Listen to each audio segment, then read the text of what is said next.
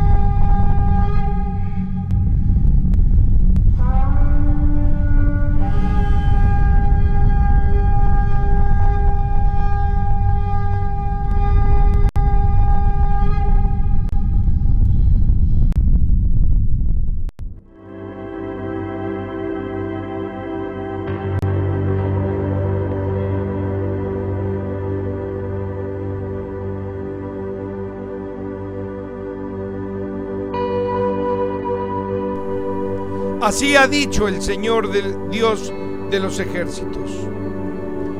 Todos verán que yo enviaré a mi siervo el rey y pondré su trono sobre estas piedras que tengo escondidas y tenderá su alfombra sobre ellas y descenderá y herirá la tierra y aquellos que he destinado a la muerte morirán. Quedarán en cautiverio todos aquellos que son destinados para el cautiverio. Y los que deben morir a filo de arma, por arma morirán. Además, el Señor hará pedazos sus estatuas e incendiará los templos donde adoran adoraban a sus ídolos. Jeremías capítulo 43, versículos del 10 al 13. Hola, ¿cómo están? Muy, pero muy buenas noches. Una vez más, muchísimas gracias por sintonizar este su programa semanal que como ustedes ya saben lleva por título La Biblia, una evidencia extraterrestre innegable. Sus servidores, José J. Valderrábano, producción,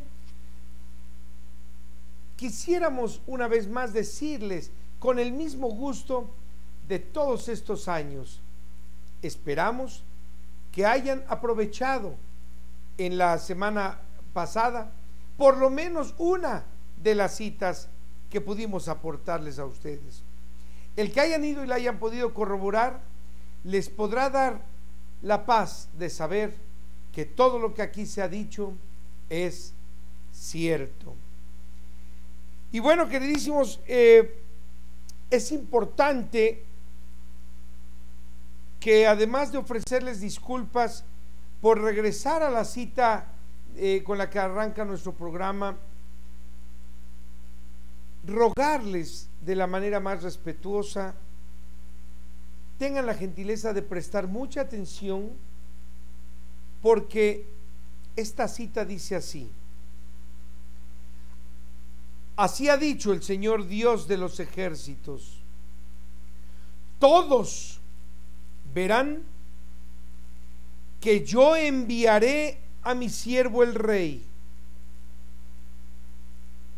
y pondré su trono sobre estas piedras que tengo escondidas y tenderá su alfombra sobre ellas. Descenderá y herirá la tierra. Y a todos aquellos que he destinado a la muerte, morirán. Quedarán en cautiverio aquellos que he destinado para el cautiverio. Pero los que deben morir a filo de arma, por arma morirán. Además, el Señor hará pedazos sus estatuas e incendiará todos los templos en donde adoran a sus ídolos. Jeremías capítulo 43, versículo del 10 al 13. Yo quisiera alentar a todos los hermanos que permanecen dentro de sus grupos religiosos y aunque más adelante vamos a hablar precisamente de ellos, es imperante que todos nos demos cuenta que el Señor insiste que el Rey, nuestro amado Maestro Jesús el Cristo, descenderá a la tierra y la herirá. Y a todos los que han sido destinados a la muerte morirán. ¿Me pueden decir en qué momento encaja el solo Jesús salva? ¿Tendrían ustedes la amabilidad de hacer notar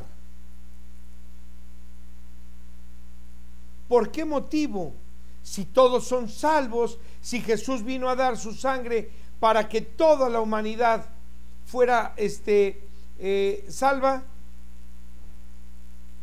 ¿por qué el bendito dice que aquellos que estén marcados para la muerte morirán? Que quedarán en cautiverio los que fueron destinados al cautiverio. Los demás van a morir por armas. No hay salvación. No la hay. El Señor va a destrozar todas sus estatuas. Y dice que Él le prenderá fuego a todos aquellos lugares donde ustedes se reunían, a todos sus templos, a todos los lugares de reunión.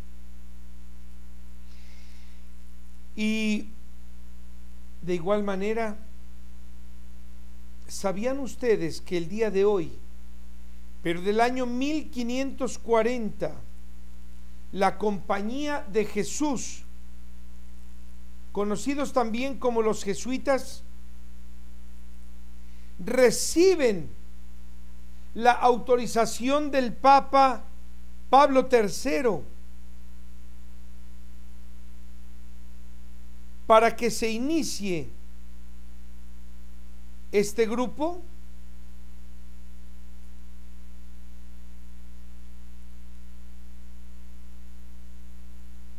pero sí sabían que en el año 1822 el francés Jean-François Champollion descubrió tal vez el mayor código en la historia cuando encontró la clave para descifrar la piedra roseta, misma que es de granito negro?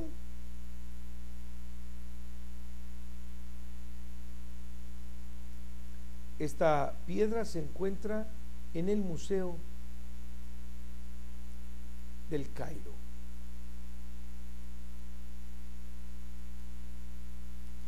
Luego de una infructuosa búsqueda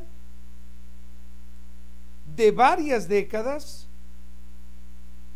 para comprender las escrituras misteriosas inscritas por los egipcios y dejadas para la posteridad, curiosamente, Jean-François Champollion descifra la piedra roseta. Sin embargo, la primera palabra que él describe es la palabra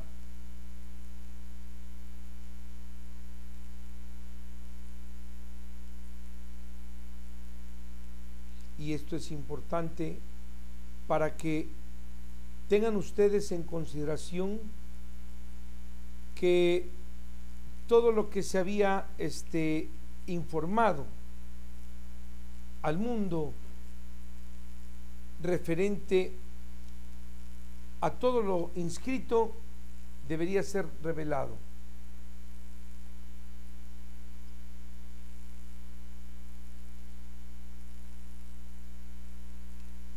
El nombre que descubre Champollion. La primera palabra que descubre es Cleopatra.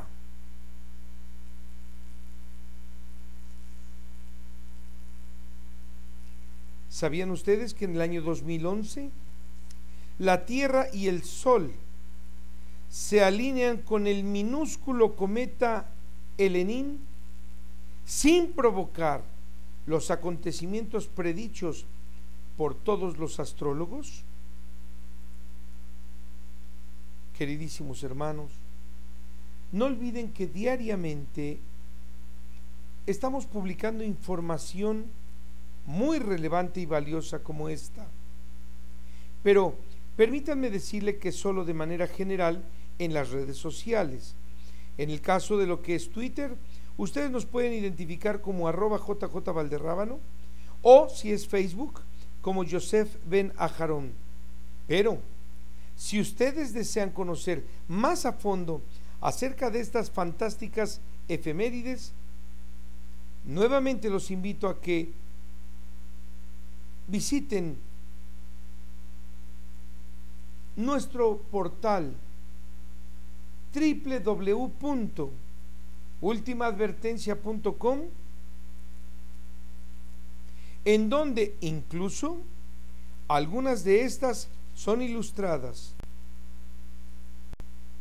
y que está ya actualizado. Además, encontrarán información complementaria, queridísimos, a detalle. Y bueno, todos aquellos hermanos que deseen entrar en contacto con sus servidores, además de que lo pueden hacer por medio de las redes sociales ya mencionadas, también pueden hacerlo por medio de Skype como J. Valderrábano 90 y lo pueden hacer todos aquellos que radican en Europa, Medio Oriente, Asia, África y Oceanía, queridísimos, pueden entrar en contacto todos los martes a las 14 horas, tiempo del centro de México, y tomando en consideración la diferente eh, eh, cantidad de horas que nos eh, separan, bueno, es muy probable que si nosotros en el tiempo del centro de México son las 2 de la tarde, para ustedes sean las 9, entre las 8 y 10 de la noche. Muchísimas gracias para todos ustedes. Y también, bueno, los martes estamos en contacto a las 20 horas con varios de nuestros queridísimos hermanos de América del Norte, Centro y del Sur que en conjunto participan. Así que, una vez más, queridísimos, eh, no hay obstáculos para aquellos de ustedes que deseen conocer más, un poco más, sobre la verdad acerca del Dios verdadero. Y sin embargo, también, si ustedes tienen algún proyecto, alguna inquietud, tengan la gentileza de confiar en nosotros que le daremos, y si no lo tenemos, la más pronta solución a lo que ustedes determinen. Así es que ya lo saben, no dejen de visitar de manera constante el nuevo portal de www.ultimaadvertencia.com en donde estaremos actualizando, insisto, nuevamente semana a semana, para que todos ustedes consulten esa valiosísima información que ahí se publica, lo cual lo convierte en el mejor portal informativo en su género y que para todos ustedes será importantísimo para las investigaciones y para los estudios que cada uno se encuentran llevando a cabo. Queridísimos hermanos, el día de hoy, en nuestra sección que se titula La imagen de la semana, presentamos a ustedes una fantástica representación artística localizada en uno de los arcos que forman parte de los accesos a los pasillos laterales de la Basílica de San Pedro en el Vaticano en donde en alto relieve se puede apreciar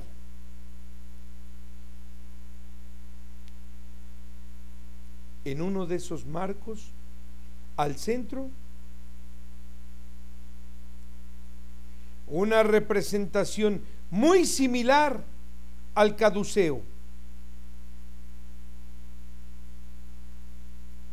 que significa o que se muestra como una base con una serpiente enredada. ¿Por qué no decirlo? Un báculo con una serpiente entrelazada. Pero esta, más que serpiente, queridísimos, por favor si la observan, tiene alas. Por tanto, la representación de esta es de un dragón.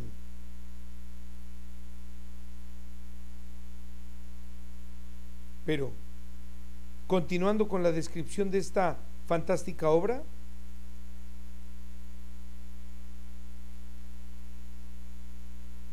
aprecien ustedes a los hombres que están por debajo del dragón.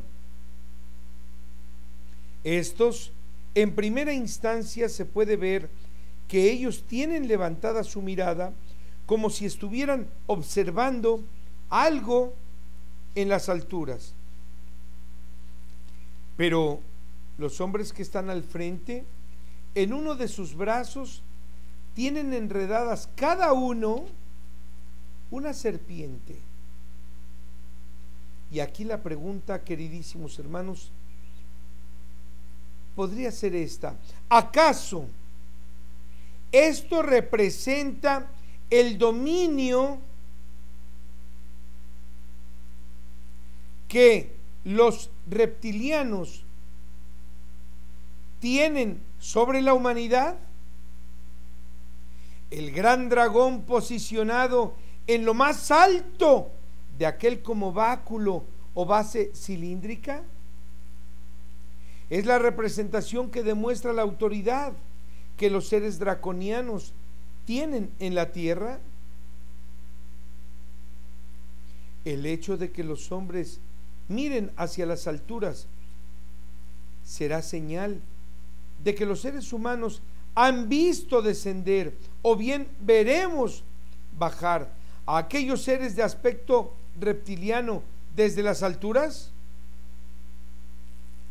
Muchas son las connotaciones que se desprenden de esta representación artística, las cuales, si algo revelan y que es muy cierto, es ese vínculo que ha existido entre estos seres benditos de nuestro Padre, seres celestiales, y la humanidad desde hace mucho tiempo y que es hasta hoy, gracias a los adelantos tecnológicos, que podemos indagar y profundizar más en la, investigación y saber y darnos cuenta que es cierto. Y a nombre de todos nuestros amadísimos hermanos, quiero agradecer en esta ocasión a don Raúl Gómez Jiménez de Monterrey, Nuevo León, aquí en México, quien tuvo la amabilidad de compartirnos esta maravillosa y muy reveladora ilustración. ¿En dónde?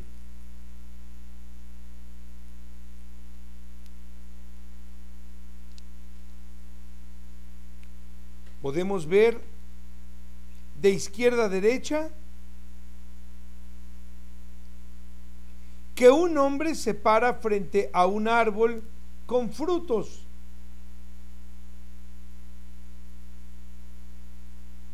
Pero, como recordarán, el árbol daba manzanas. Y este hombre suplica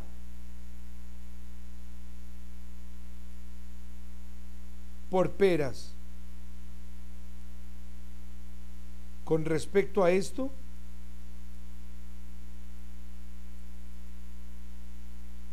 citaremos a Isaías capítulo 17, versículo 7, que a la letra dice, y en aquel día el hombre mirará a su creador y sus ojos contemplarán al Santo de Israel. Y no volverá a mirar sus templos que fabricó con sus manos, ni volverá a mirar los muñecos que inventó con sus dedos, ni a los bosques de donde cortaban esos leños, ni a sus imágenes de metal. Asimismo, Ezequiel capítulo 21, versículo 10, a la letra nos dice, con tal de menospreciar la autoridad de mi hijo más amado y de abatir su cetro, cortarán cualquier árbol para hacer figuras, que en este caso son crucifijos, con todo tipo de leño y Oseas. Capítulo 4, versículo 12, también a la letra nos dice, mi pueblo le pide a sus leños y sus palos les responden. porque la fuerza de sus fornicaciones los ha fascinado con la idolatría. Y todos me han dado la espalda para ir detrás de sus ídolos. Muchísimas gracias también a nuestro queridísimo y muy amado hermano, don Julio César Maldonado, de Madrid, España, quien una vez más, ha tenido la amabilidad de compartirnos esta fantástica ilustración. ¿En dónde?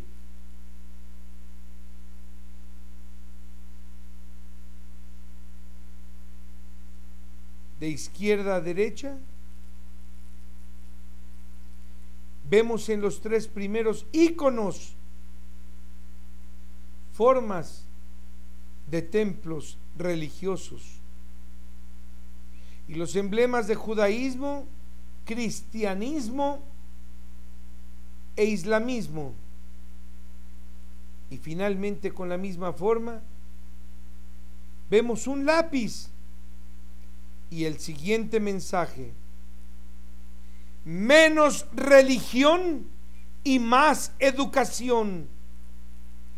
Y al respecto, comentaremos que esto ya nos había sido advertido y así quedó escrito en Juan capítulo 5, versículo del 39 al 42, que a la letra dice,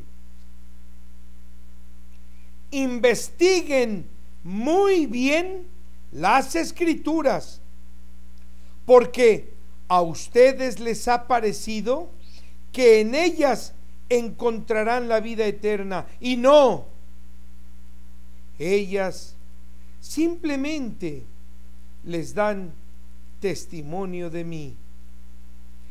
Y no quieran llegar a mí para que tengan vida. Porque alabanzas de los hombres yo no recibo. Repito, porque alabanzas de los hombres Dice el Maestro Jesús el Cristo, yo no recibo, pues yo que los conozco, sé que ninguno de ustedes ama a Dios. No lo olviden, hermanos. Juan capítulo 5, versículos del 39 al 42.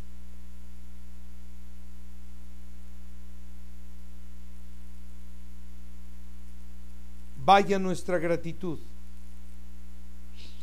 y a nombre de todos los entrañables hermanos de esta maravillosa familia, de la última advertencia,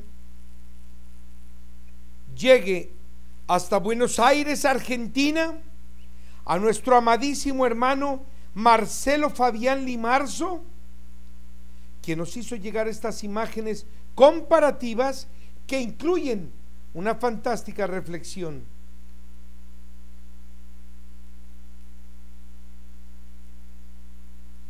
En la primera imagen vemos una pared con pieles de diferentes animales y cabezas disecadas. Y la siguiente frase, la casa de un cazador y sus trofeos. Pero en una segunda imagen, fantásticamente don Fabián nos comparte algo que a muchos les impactará, pero que a la vez nos ayudará a reflexionar. Pues como podemos observar, hay un Cristo en la pared de lo que se entiende es una iglesia. Y la misma frase, la casa de un cazador y su trofeo. Y es que tal y como podemos razonar, en la primera nos da a entender que la cacería es de animales, mientras que en la última la cacería es de personas que se dejan cazar con astucia, pero a consecuencia de su ignorancia. Y al respecto, consideremos lo que nos fue dicho por Jeremías y que así quedó escrito para la posteridad. El libro de Jeremías capítulo 5, versículo 27 al 31, y que este a la letra nos dice, en la tierra abundarán los malvados, engañarán como cazadores, poniendo lazos como trampas para cazar a hombres. Cuidado, hermanos, hermanos cristianos, mucha atención, muchísimo cuidado como jaula llena de pájaros. Así están sus templos, todos llenos de engaño. Y así también es como se han hecho grandes y ricos, pues se engordaron y brillan de gordura. Y han violado los preceptos que yo ordené.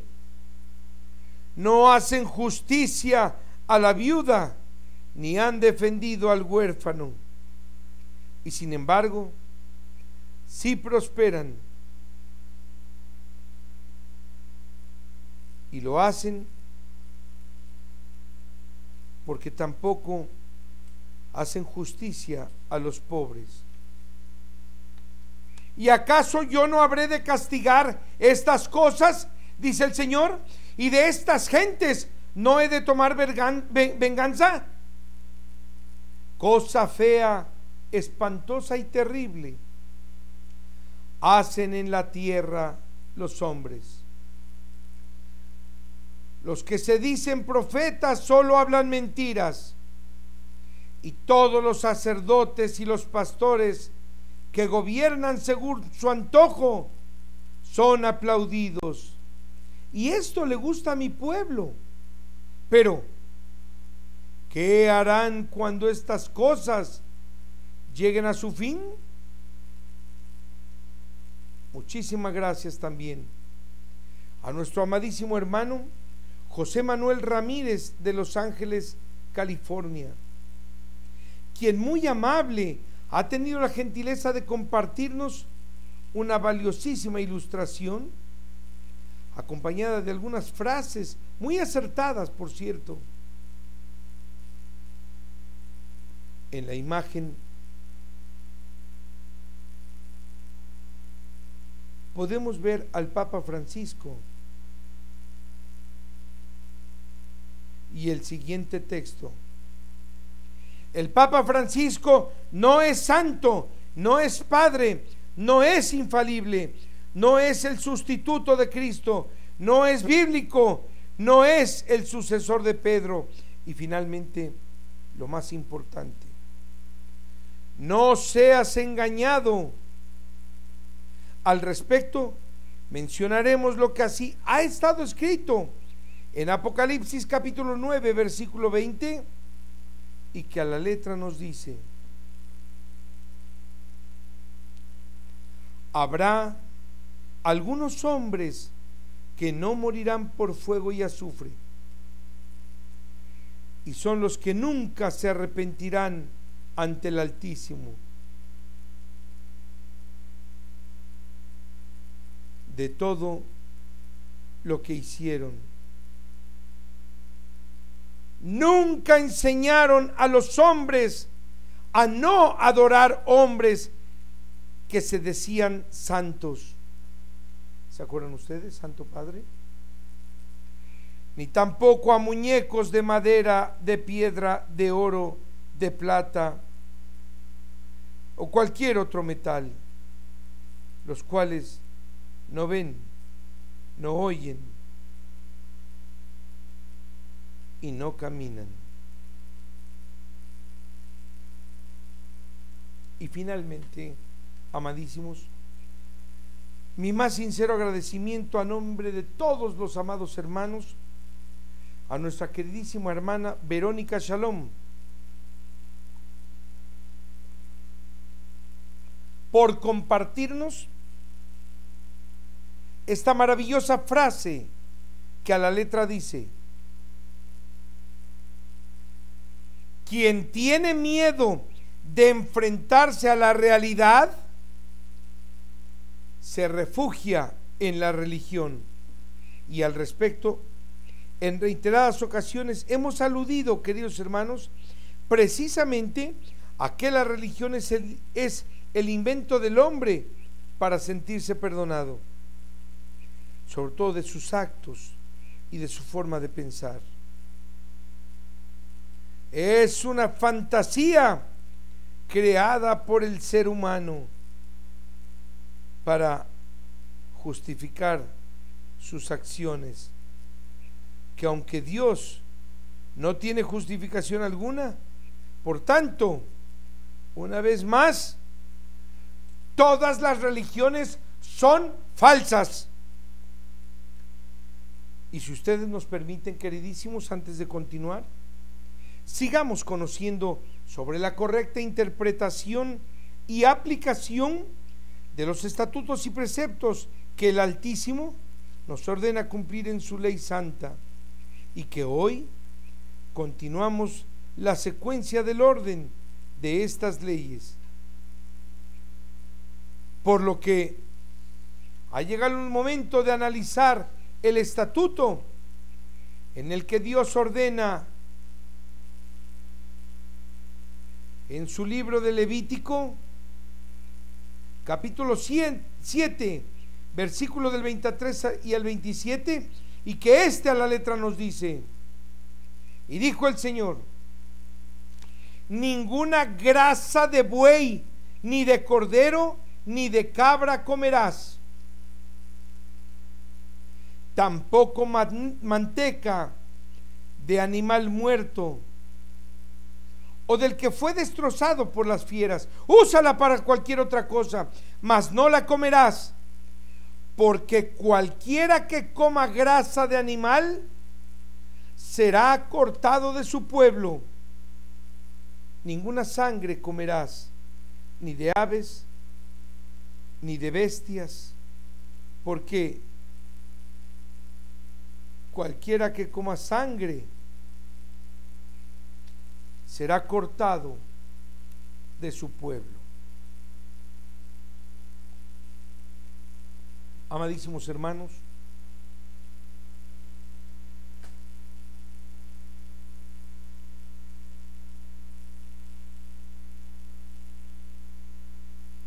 si ustedes nos los permiten, este mandato, espero se hayan dado cuenta, es tajante. Pues las grasas de los animales no se deben consumir precisamente porque en nuestro organismo se generan reacciones muy dañinas, como lo es el que se tapen las arterias. Y que esto es muy común en quienes son dados a comer grasas de animal. Pero también las mantecas, que son igualmente grasas, no se deben consumir. Ya no importa de qué animal sean, hermanos. No se deben ingerir y punto. Así como también lo es la sangre. Pues recordemos que el bendito, en el libro del Levítico capítulo 17, versículo del 10 al 7, se nos dejó dicho lo que aquí se describe. Y dijo el Señor, cualquier hombre del pueblo de Israel y cualquiera ajeno a él jamás ni nunca comerá sangre o lo cortaré de su pueblo porque debe de saber que la vida de la carne está en la sangre. Por tanto, nadie de ustedes comerá sangre. Y cualquiera que mate animal o ave para comer, de los que son limpios, al degollarlo, se derramará su sangre y ésta se cubrirá con tierra. Porque no debemos olvidar, dice el Señor, que el alma de toda carne, su vida, está en su sangre. Y queridísimos, bueno, antes de dar inicio a nuestro tema de hoy, quisiera invitarlos de la manera más atenta a todos ustedes a que el día de mañana, en punto de las 22 horas, tiempo de Los Ángeles, California, y 24 tiempo del centro de México, no se pierdan la entrevista a la que una vez más hemos sido invitados por Mayra Berenice en su programa de radio que todos ustedes pueden escuchar a través de internet en www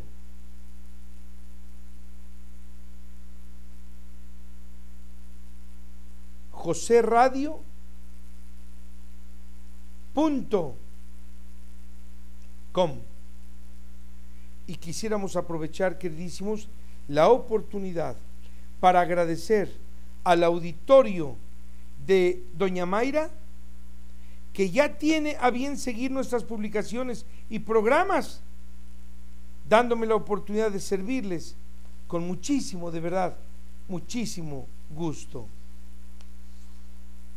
Y bien, queridísimos hermanos, el día de hoy, a petición de varios de ustedes, vamos a hablar acerca de las próximas conmemoraciones que están por llevarse a cabo a partir precisamente de esta semana, iniciando el jueves primero de octubre y que continuarán los días 9 y 10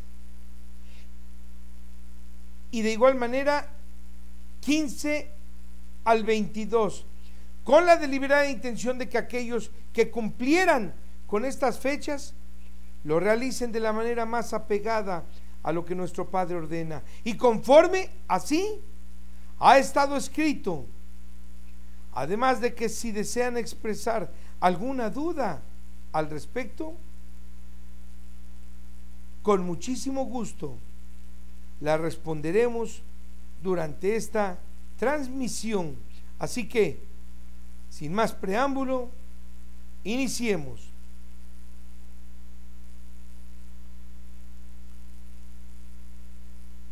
Queridos hermanos, el día de hoy solo hablaremos de la conmemoración más próxima, que es la de este día primero de octubre. Y al próximo domingo, les prometo, tocaremos la del día 9 y 10 de octubre. Y el siguiente domingo hablaremos del Sukkot. Y lo haremos de esta manera para que en todos ustedes haya mucha claridad en lo que deben hacer. Y si es que hubiera alguna duda, precisamente en estos programas podrán sin problema exponerlas para que las mismas sean aclaradas.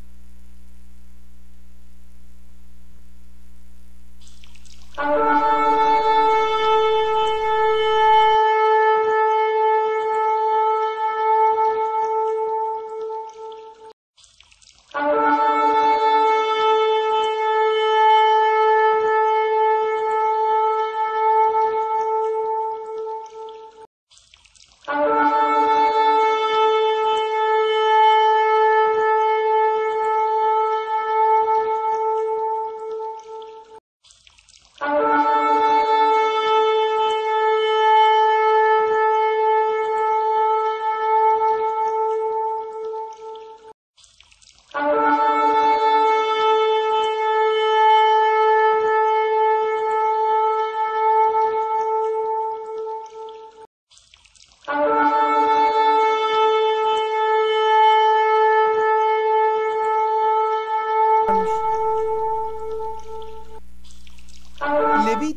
quiere decir fiestas de los levitas.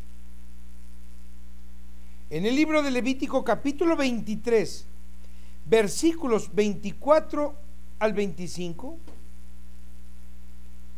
así lo dice el Señor. El día primero del séptimo mes, recordemos que Abib ordenó el Señor, era el primero de los meses de cada año. Entonces, el día primero del séptimo mes, primero de octubre, será para todos ustedes sábado, que significa día de reposo.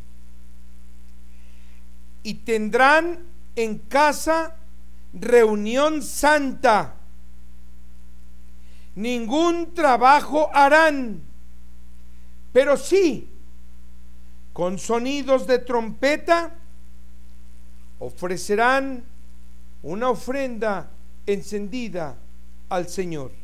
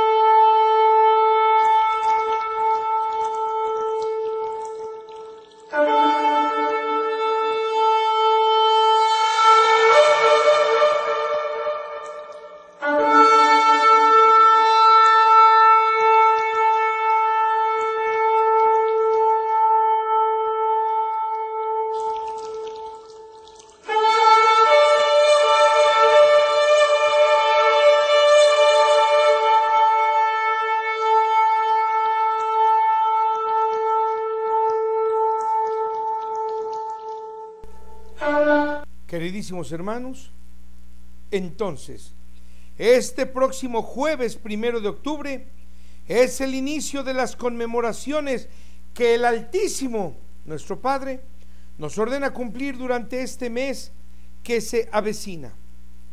Y que son la conmemoración de las trompetas el primero de octubre, el día del arrepentimiento es de la tarde del día 9 a la tarde del día 10 y la conmemoración de los tabernáculos o las cabañas, que es del día 15 al 22 de octubre.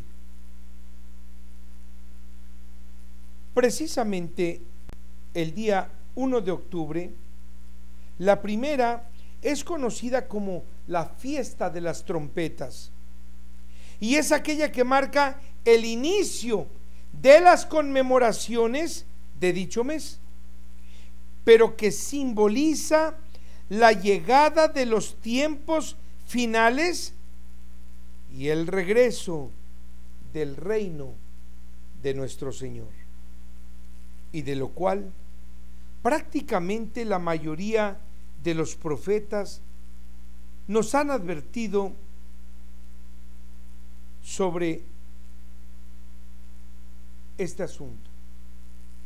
Pero es muy importante, hermanos, que este día quede en claro que debe considerarse día de conmemoración, no de fiesta, porque no hay motivo alguno de alegría o festejo, pero sí de estar conscientes que debemos permanecer atentos a los acontecimientos que ya se están dando y que todavía faltan por venir, los cuales obviamente anteceden al fin de todos los tiempos.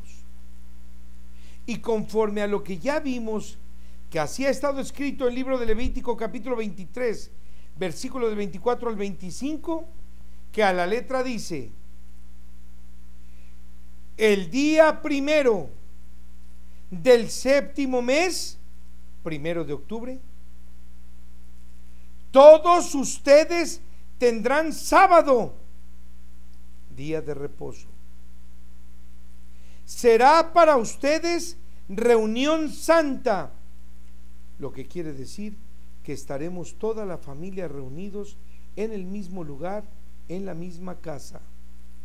Ningún trabajo harán, pero sí, con sonidos de cualquier trompeta, ofrecerán una ofrenda encendida al Señor.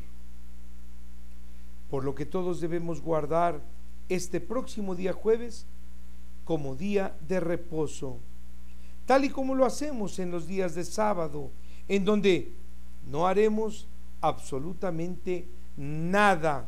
Pero durante el día, al amanecer, al atardecer y al anochecer, saldremos a nuestra terraza, jardín, lugar más alto o azotea en fin, en aquel lugar donde tengamos la expansión del cielo frente a nosotros y haremos sonar nuestra trompeta o nuestro shofar. Y al anochecer presentaremos la ofrenda encendida a nuestro bendito Padre y también oraremos a Él en reconocimiento del inicio de las conmemoraciones que están dando inicio y que cabalmente estaremos cumpliendo conforme a su voluntad santísima y no menos importante, conforme a su bendita ley. Ahora bien, esta ofrenda encendida debe ir acompañada de 12 panes de 7 kilos de harina cada uno. Repito, 12 panes de 7 kilos de harina cada uno, lo que representa el utilizar 84 kilos de harina de trigo para hacer esos 12 panes. Y estos panes deberán ser colocados en dos filas de seis cada una. Además, deberán acompañarse con incienso, el cual simboliza el perfume que a Dios tanto le agrada y que tanto le complace en sus panes.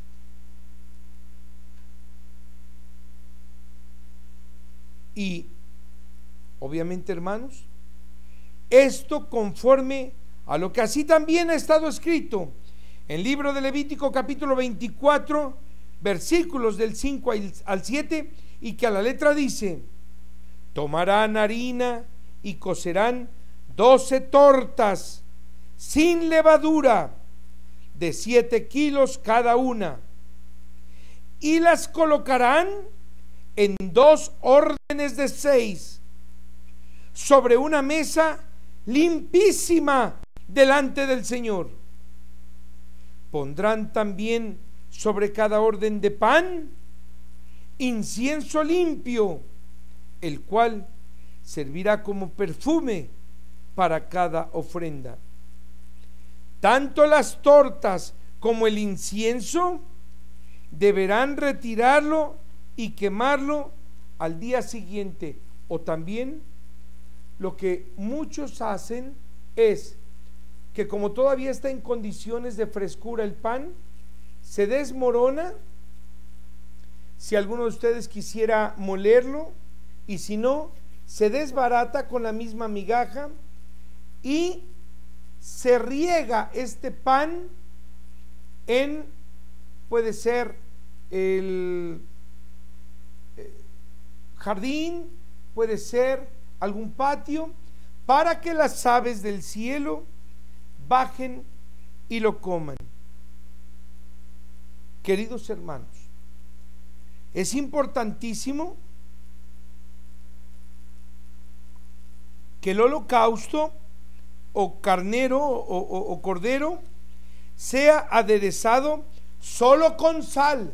Repito, solo con sal, nada más. Y las vísceras también se colocarán en el fuego, pero obviamente estas deben estar muy limpias para que se quemen junto con el animal, con el cordero. Recuerden, hermanos, esto es importantísimo, que no se le debe quebrar hueso alguno a la ofrenda. No deberá tener absolutamente ninguna enfermedad, ni nada torpe que pudiera notarse en ella.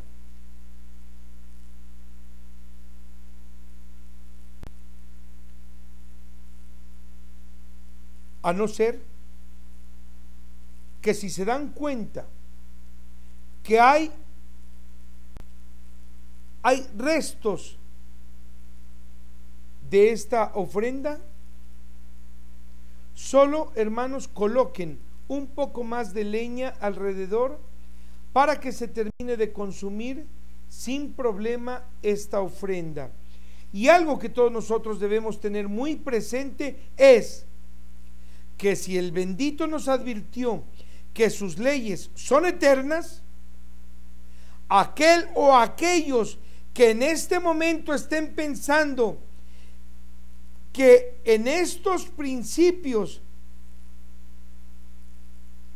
eran solo para los antiguos, o aquellos otros que piensen que estos, estas ordenanzas son o eran solo para los judíos, no es así. Pues, si todos nos, seguimos considerando hijos del Altísimo, ¿por qué entonces no obedecemos a nuestro Padre?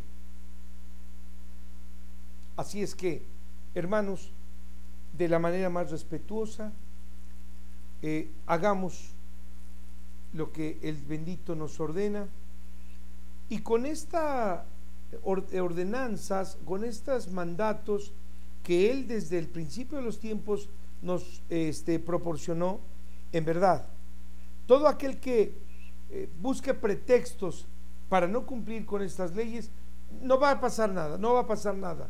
Asuma usted su responsabilidad y sobre todo, que pudiendo ahora ser el momento ideal para mostrarle a sus hijos que ustedes se equivocaron, que fueron objeto de mentiras, aún de nuestros propios padres, allá ustedes, hermanos, allá ustedes. Y bien, hermanos, antes de terminar este programa, quisiera decirles que de la nada tuvimos oportunidad de que una señora que vende trapos, trapos para limpiar trastes, para limpiar mesas, pasaba por el negocio de mis hijos y fíjense ustedes que de la nada nos empezó a platicar que ¿por qué no íbamos a abrir en los días? Porque mis hijos tienen un eh, letrero en donde se va a cerrar el negocio, ofreciendo inclusive eh, disculpas para la gente que tan gentil, de tan gentil manera los este, visita. Pero fíjense hermanos que la señora empezó a preguntar del por qué. Y nos dice que porque su hermano está yendo a una escuela judía.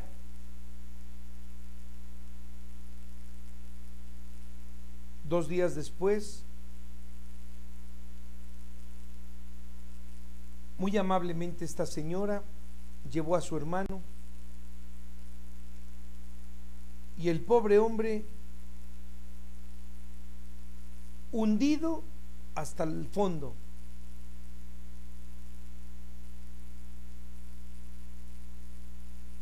Este hermano, don Adrián, por cierto,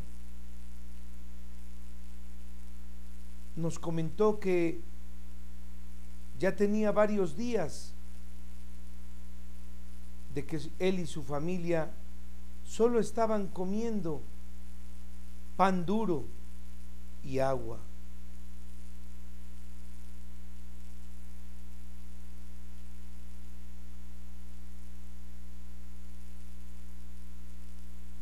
Pero también, hermanos, don Adrián tuvo la amabilidad de comentarnos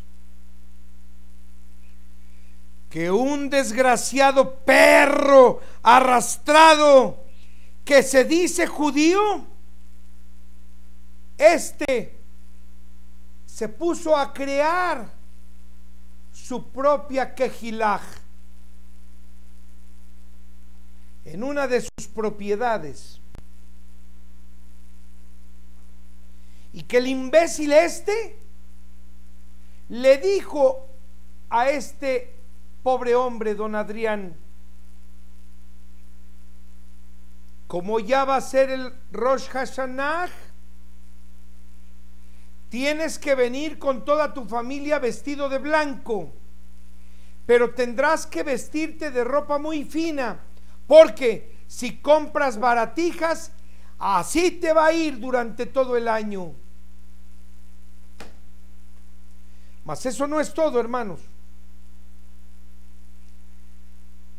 Este perro desgraciado también le dijo, y tienes que traer una vajilla nueva para que yo te la bendiga, para que en esa vajilla puedas comer durante todo el año.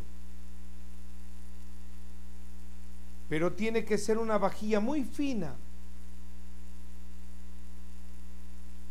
Pues este pobre hombre se puso a conseguir ropa blanca, zapatos blancos, y fue a un centro comercial popular y compró una cajita de vajilla para cuatro personas.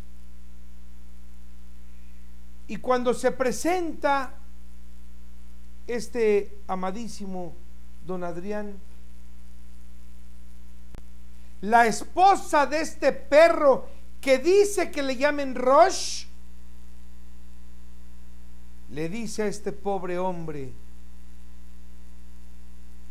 mi vajilla me costó 15 mil pesos, la compré en este, en Liverpool, un centro comercial muy afamado aquí en México, para gente muy pudiente. ¡Ay! Pero la tuya te ha de haber costado 200 pesos, ¿verdad? Y el pobre hombre, viendo que se estaba burlando esta perra también de él, con lágrimas en los ojos le dijo, no señora, me costó 120 pesos. Y la señora se empezó a burlar más todavía de él. Pero eso no es todo, queridísimos hermanos. este perro desgraciado, ¿saben qué hizo? ¿Eh? Que se dice judío. Le pidió que llevara de postre para todos los de la Quejilaj, que significa la este eh, la que es congregación que lleve el postre pero ¿qué creen que le pidió de postre? El rush, ¿sí? Que llevara gelatina. Hermanos, ¿acaso no hemos dicho que la gelatina se fabrica con pata de puerco? Pues este perro que se dice judío, pidiéndole a este pobre hombre que no tenía ni para comer, consiguió dinero prestado para llevarle a este desgraciado gelatina. Ah, pero a otros de sus fieles les pidió sándwiches de jamón, sándwiches de tocino, sándwiches de pepperoni o salami, en fin. Todos nosotros sabemos que ningún embutido se come, puesto que el Señor, su santísimo nombre, sería blasfemado. Y este desgraciado pidiendo sándwiches de jamón para vendérselos a los demás este, fieles de su congregación, de su quejilaj.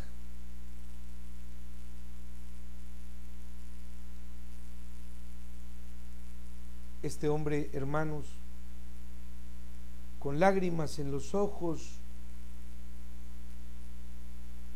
nos dice que, que no sabe qué hacer, que entonces como la ropa blanca la consiguió para él y para su familia y ya era usada, entonces le dijo el desgraciado este Rosh que entonces ni lo piense, que de una vez se haga la idea de que le va a ir muy mal este año. Sí, hermanos, pasamos un par de horas y este hombre no cesaba de llorar. Pero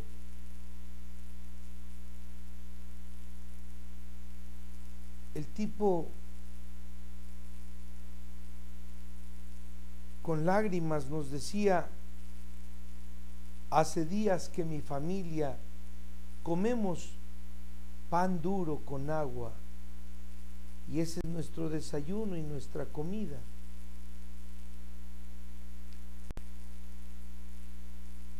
Y este grandísimo arrastrado, maldito ante los ojos del Altísimo, le dijo, que era forzoso que llevara cosas buenas, que sus zapatos blancos debían ser nuevos, porque así lo ordena Dios. ¿Me pueden decir, hermanos, en dónde el Altísimo obliga a un pobre hombre a que se compre zapatos nuevos?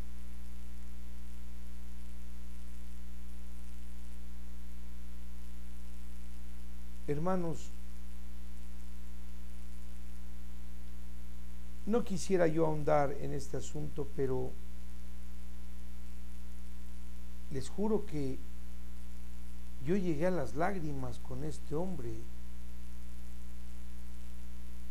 Pero lo que más me enfureció es ver cómo un imbécil que se hace decir judío humilla humilla lo que nuestro Padre nunca ha hecho con el ser humano, humilla a este pobre hombre. Cuidado con esas religiones, hermano. Cuidado.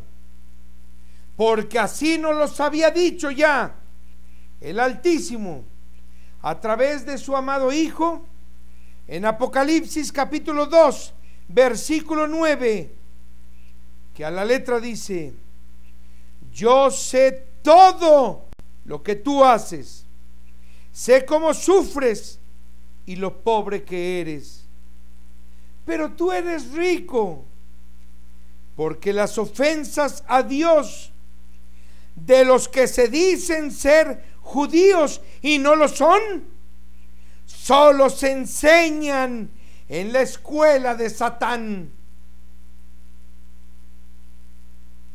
Mas esto no es todo. Apocalipsis capítulo 3, versículo 9, dice nuestro amado maestro. Y recuerden que nuestro maestro dice, todo lo que me han escuchado decir no es cosa mía, es cosa de mi Padre. Apocalipsis capítulo 3, versículo 9. Escúchame, porque verás que yo soy el que daré la misma escuela de Satán a los que se dicen ser judíos y no lo son, porque entre ellos mismos se mienten. Verás que yo los obligaré a que vengan y adoren a mi Padre de rodillas delante de ti, para que sepan que yo a ti te he amado. Evangelio de Tomás, versículo 23. Recuerden ustedes, hermanos, son de los documentos de Nahamadi. no imiten en esto a los judíos, porque ellos solo quieren el árbol y odian el fruto. No imiten tampoco a los que solo quieren el fruto y odian el árbol.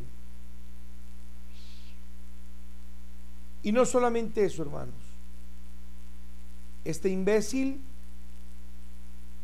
que se dice ser eh, este, el rabino, Rosh, el rabino, este grandísimo perro, les vende unos libros extraños, pero que en la pasta dice Torah.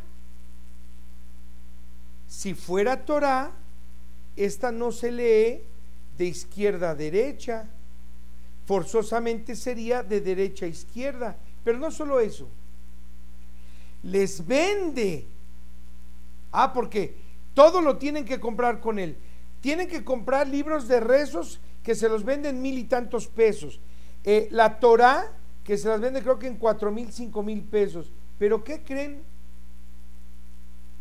Que la Torah tiene el Evangelio de Tomás, de, perdón, de Mateo, el Evangelio de Juan, el Evangelio de Marcos y el Evangelio de este de Lucas. Pero lo más vergonzoso, una Torah que tiene epístolas, las epístolas de Pablo. Oiga, este perro de veras, ¿eh? ¿Cómo se atreve a semejante blasfemia? Pero es maravilloso, hermanos, darnos cuenta cómo nuestro Padre ya nos había dicho, esos que se dicen ser judíos y no lo son, todo lo que te digan lo han aprendido en la escuela de Satán. Y antes de despedirnos, queridísimos hermanos, permítanme por favor enviar un abrazo y un afectuoso saludo hasta la ciudad de Saint Paul, en Minnesota, en los Estados Unidos. A nuestro queridísimo hermano don Toñito Joaquín Romero, quien se ha integrado a la red de Facebook y que sigue nuestros programas semanales. Queridísimo hermano, muchas gracias. Por favor, muchas gracias y reciba de la manera más atenta mi más sincero agradecimiento por tenernos la confianza. Al mismo tiempo que en esta su casa seguiremos rogando a Dios para que me considere usted a sus más apreciables órdenes, porque es algo que usted nunca debe olvidar. A la hora que a usted le venga en gana, llámenos con mucho gusto. Estamos para servirle. Reciba por favor mis mejores deseos de que nuestro Padre el bendito, nuestro amado Maestro y el siervo más antiguo, le bendigan a usted y a sus más queridos. Nuestro Padre le brinde toda su protección y los colmen de bendiciones y les multipliquen su sabiduría y todo cuanto poseen. Amadísimos hermanos, por hoy es todo. Que nuestro amadísimo Padre, el Eterno, nos bendiga pero que nos dé más sabiduría junto con nuestros más queridos y nos permita ya, de una vez por todas, dejar de estar presentando pretextos y pretextos y cumplir su ley santísima, para así verdaderamente estar haciendo su voluntad. Y que a ustedes, hermanos, les multiplique todo cuanto tienen. Y permítanos despedirnos con este sabio y valiosísimo proverbio judío que a la letra dice, no hay persona que no tenga su momento y no hay nada que no tenga su lugar. Amadísimos hermanos, la enseñanza de este sabio proverbio, fíjense que es muy valiosa, porque muchos en alguna ocasión nos hemos quejado de lo que somos, de lo que tenemos, etc. Y no nos damos cuenta que quizá aún no sea el momento de disfrutar de aquello que tanto deseamos y que llegado el momento indicado se nos proveerá. No olvidemos que todo debemos acatarlo con sabiduría. Y un hombre o una mujer en quien hay sabiduría, siempre encontrarán el valor positivo a los acontecimientos que tengan lugar en su vida. Aún, hermanos, y cuando estos sean aparentemente en su contra. Muchísimas gracias. Cuidado con esta fecha. Cualquier sonido de trompeta. Y hasta la próxima. Yo te alabo, oh Padre, y te doy gracias que eres el Señor del cielo y de la tierra por haber hecho que todos los que se dicen sabios y entendidos cerraran sus ojos a todas las cosas que se ven en el cielo y haberlas enseñado a los que las viven y las aprecian como niños. Y si esto ha sido así, es porque así te agrada. Benditos los ojos que en adelante pongan su mirada en el cielo para que vean tus maravillas.